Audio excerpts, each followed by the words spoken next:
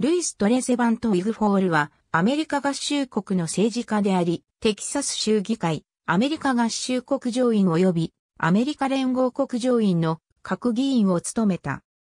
ファイアイーターと呼ばれるアメリカ合衆国からの脱退を主導するグループの一員であり、奴隷労働に基づく特権階級的農本社会の保存と拡張を提唱した。南北戦争が始まった時、短期間南軍テキサス旅団の準将を務め、その後アメリカ連合国上院に入った。ウィグフォールは、弁舌が立ち、大酒飲みという評判があり、戦闘的な性格と個人の名誉には非常な敏感さがあったので、当時の人目を引く政治家の一人となった。ウィグフォールは、サウスカロライナ州、エッジフィールドに近いプランテーションで、リーバイ・デュランとエリザ・トムソンのウィグフォール夫妻の子供として生まれた。父は、エッジフィールドに来る前には、チャールストンで成功した商人だったが、1818年に死んだ。母は、フランスのユグノーであるトレゼーバント家の出身だった。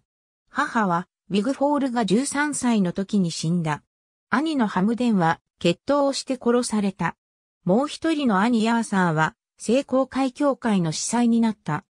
ウィグフォールは1834年まで保護者の家庭教育を受け、その後コロンビアにある特権階級子弟のための士官学校、ライスクリークスプリングス学校に1年間通った。その後バージニア大学に入学した。この期間に他の学生から受けた侮辱が元で、ウィグフォールが行うことになる多くの決闘の最初のものが起こったが、この時は平和的に解決された。1836年、ウィグフォールはサウスカロライナカレッジに入学して学業を完成させようとしたが、出席状況は安定しなかった。法律に興味を抱き、討論クラブに出席し、学生の権利に関する論文を書いた。しかし、この学生時代の大半は、学業よりもキャンパスの外にある居酒屋で過ごされた。ウィグフォールはフロリダ州での第三次セミノール戦争に参戦するために3ヶ月間学業を放り出し、志願兵の中尉の階級を得た。このような回り道はあったが、ウィグフォールは1837年に大学を卒業した。その最も親密な友人と考えられた同期生にジョン・ローレンス・マニングがおり、後にサウスカロライナ州知事になった。1839年、ウィグフォールはエッジフィールドに戻り、兄弟の法律実務を引き継いだ。この時期に遺産を浪費し、飲酒や掛け事の性癖もあって、負債が増えていった。勝手気ままな生活様式を維持するために、友人から金を借り、はとこで、将来の妻となる、ロードアイランド州のシャーロット・マリア・クロスからも借りた。シャーロットとは1841年に結婚した。しかし、田舎の弁護士としての単なる事務仕事ではその気象にも目的感にも合わず、期待したほど利益を生まないことが分かった。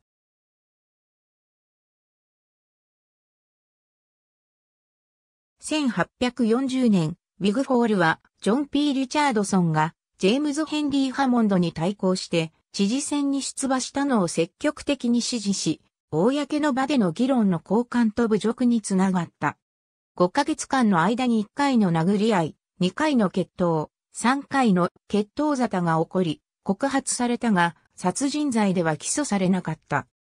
この暴力の連続は1840年に頂点に達し、オーガスタに近いサバンナ川の島で、後の会議員プレストン・ブルックスと決闘して、両桃に銃弾を受けた。ハモンドは指名争いに敗れたが、二人の頭に血が昇った若者の間の論争をなだめようとした。ウィグフォールは、リチャードソン知事の参謀として、副官と中佐の位を受けたが、ブルックスとの事件の結末には決して満足することはなかった。この政界における最初の襲撃とブルックス事件でウィグフォールの法律実務はダメになった。1844年のサウスカロライナ州民主党大会で大議員に選出されたが、その暴力的な性質と舞台裏のおせっかいがすでにその若い政治的野心を運命づけていた。ウィグフォールは病気がちな幼い息子に薬代を注ぎ込み、その息子は結局死んだ。勾配が後を追い、そのエッジフィールドの資産はなくなった。テキサス州にいるいとこで、元サウスカロライナ州知事のジェームズ・ハミルトン・ジュニアが、ウィグフォールの再出発を手配し、法律実務の共同経営を始めた。ウィグフォールが決闘を好むという評判はしばしば誇張され、結婚後にそのようなことを完全に諦めたとしても終生、ついて回った。しかし、ウィグフォールが決闘の作法を主張し続けたことは、地域社会の品行や作法を改善する重要な要素になった。ウィグフォールは1848年にテキサス州に到着し、テキサス州ナコドチェスでウィリアム・ B. をオチルトリーの法律事務所に入り、その後はテキサス州マーシャルで落ち着いた。すぐに政治の世界に入り、1849年から1850年はテキサス州議会下院議員を、1857年から1860年は上院議員を務めた。サム・ヒューストンとは断固たる政敵になった。1857年にヒューストンが知事選に出馬した時、ウィグフォールはその選挙運動アンギャーについていき、ヒューストンが立ち止まるごとにその議会での経歴を攻撃し、南部に対する裏切り者と非難した。ウィグフォールはヒューストンが大統領候補になる大望があり、北部の奴隷制度廃止論者の支持を得ようとしていると主張した。ウィグフォールはノウ・ナッシング党に対抗するために州民主党をまとめたが、敗北した時にその急進的な見解は民主党穏健派の見解の中に埋没した。ジョン・ブラウンによるハーパーズ・フェリー襲撃事件は、ウィグフォールとその急進的な見解を州の前面に呼び戻す効果があった。1860年、テキサス州議会は、ウィグフォールを第37期アメリカ合衆国議会に送り込んだ。しかし、アラバマ州のモンゴメリー会議にも大議員として出席し、この会議ではアメリカ連合国の暫定政府を創出し、ジェファーソン・デイビスを大統領に選出した。ワシントン DC ではテキサス州が1861年3月1日にアメリカ合衆国から脱退したその6日後まで上院議員であり続け、南部の大義の正しさを訴え、上院の議場であろうとキャピトルヒルのサロンであろうと、北部の上院議員を叱りつけていた。このワシントンにいる間に、来たるべき戦争への北部の備えを偵察し、南部に配るための武器を手配し、3月7日に仲間の上院議員から除籍された時、メリーランド州ボルティモアに行って、新しい連合国のために徴兵を行い、その後連合国の新首都リッチモンドに行った。敵対関係が始まるまでの期間、ウィグフォールはバージニア州など北側の南部州がアメリカ連合国に加入するのを促進するために、サウスカロライナ州のサムター砦とフロリダ州のピケンズ、砦への攻撃を提唱した。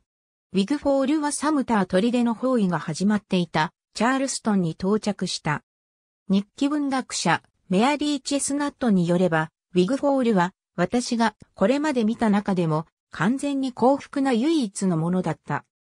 サムター砦砲撃の間 PGT ボーリガード、将軍の副官となり、承認もなしにスキフを漕いで、島の砦に向かい、砦指揮官、ロバート・アンダーソン少佐に降伏を要求した。この出来事は新聞で広く報道されてその名声をさらに高めたが、その記事にはウィグフォールがボーリガード将軍と2日間話していないという重要な詳細を割愛していた。承認された使節が砦に到着した時、ボーリガードがすでに拒絶していた条件をウィグフォールがアンダーソンに認めていたことを知って当惑させられた。ウィグフォールは新たに掴んだ名声によって第一テキサス連隊の大佐の位を確保し、その後すぐに南軍テキサス旅団の準将に昇進した。1861年から1862年にかけての冬はバージニア集団フリーズの酒場に宿営している部隊の側に宿舎を取った。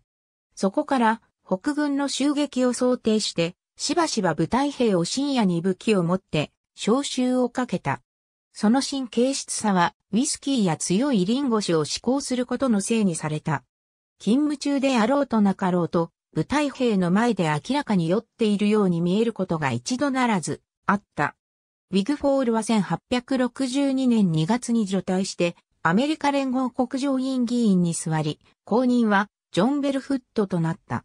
戦争の初期に、ウィグフォールはアメリカ連合国大統領ジェファーソン・デイビスと親友になった。ウィグフォールの経歴を通じた政治的盟友の場合と同様に戦争が進行するにつれてデイビスとはまず支持し続いて、たもとを分かつことになった。デイビスは徐々に強い中央政府を支持するようになったのに対し、ウィグフォールはいつまでも州の権限の提唱者であり、アメリカ連合国最高裁判所の創設を妨害し、デイビスの指名が州の権限を損なうようになることを恐れた。またウエストポイントの陸軍士官学校出身であり、元アメリカ合衆国陸軍長官であるデイビスの軍事に絡む政策の多くに異議を唱え、おかしなことにセミノール戦争での自身の経験を引き合いに出した。ウィグフォールは南軍のジョセフ・ジョンストン将軍とも親友であり、将軍のためにたびたび法案を提案した。また、ロバート・ E・リーを南軍の総司令官にすることでは、早くから提唱したものだった。敵対関係が終わると、ウィグフォールは偽の釈放書を持ってテキサスの部隊と共にテキサス州に逃げ帰り、1866年には亡命者としてイギリスのロンドンに渡り、そこでイギリスとアメリカ合衆国との間の紛争を先導する陰謀を企てた。1870年にはアメリカ合衆国に戻ってコロラド州クリアクリークの鉱山を購入した。ウィグフォールはメリーランド州ボルティモアにしばらく住み、1874年1月にはテキサス州ガルベストに行った。その1ヶ月後に脳卒中のために死に、そこの成功会墓地に埋葬されている。ありがとうございます。